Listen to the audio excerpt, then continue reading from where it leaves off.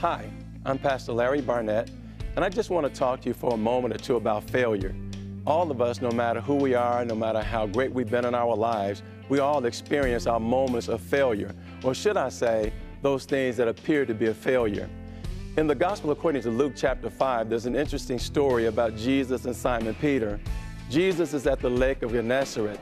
He finishes preaching and he asks Simon to launch out into the deep. And this is where the story gets pretty interesting. And you have to remember that Peter is an experienced fisherman.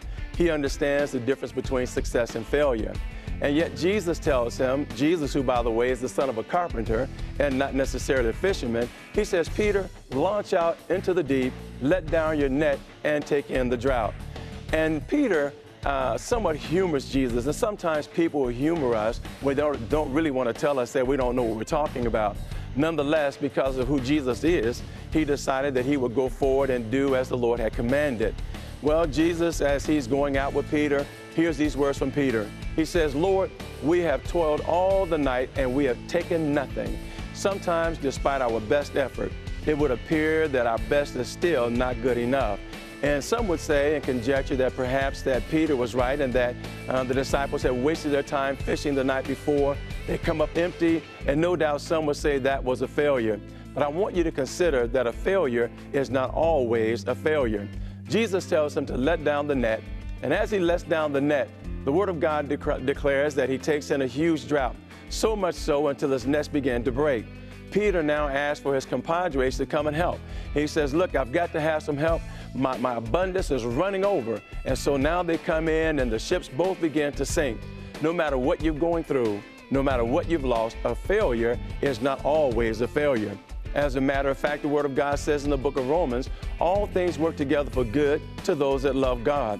As long as we love God and we're walking in the will of God, no matter what we've experienced, we are yet determined and we're yet destined to be a success. We have to remember that as a child of God, he has put His Spirit in us. And the spiritual DNA of every child of God would declare that we are not losers but winners. Jesus said through the Apostle Paul that we are more than a conqueror. A failure is not always a failure. You may be struggling financially, maybe you're having family problems, perhaps your family is described best as being dysfunctional, but I do want to encourage you to hang in there. The Lord revealed to me some time ago that a failure is not a failure in my life until I declare that it is a failure. So despite all of your doubters, your naysayers, your critics, those who don't believe that you'll ever amount to anything, I want you to take courage and just declare to the world the best in your life is yet to come. As a matter of fact, David says it best in Psalms 23, verse 5, that God will even prepare a table before you in the presence of your enemies. We have to make careful or be very careful that we don't allow the adversary to whisper negative things into our lives.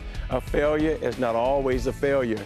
When God is in the picture, no matter what we put our hands to do, God will ensure that we're going to come out successful. We are going to be a victor because Christ is the one who gives us the strength. And Paul says we can do all things. So I want to encourage you, the believer, to know that on this day, your failure, God is about to make that become your greatest testimony. It is in our trials and tribulations that we discover our greatest testimony. So don't just be dismayed, don't be discouraged.